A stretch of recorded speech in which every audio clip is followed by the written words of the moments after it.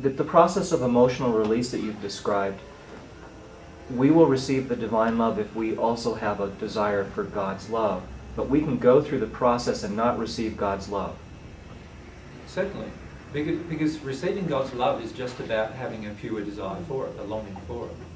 So I, if I decide I'm going to work through all of my emotional issues, but I'm not going to do it with God, I'm going to do it by myself, we can do that. And that's what the majority of people who are self-reliant do in the end. They work through their emotions uh, without, without receiving God's love because they don't want to have a relationship with God. They don't believe even that maybe the personal relationship with God is possible. So the truth is that you can work through all of your emotions and get to a state of clarity with all of your emotions without God. It's going to take you a lot longer to do it. Why would you want to? Why would you want to? Yeah.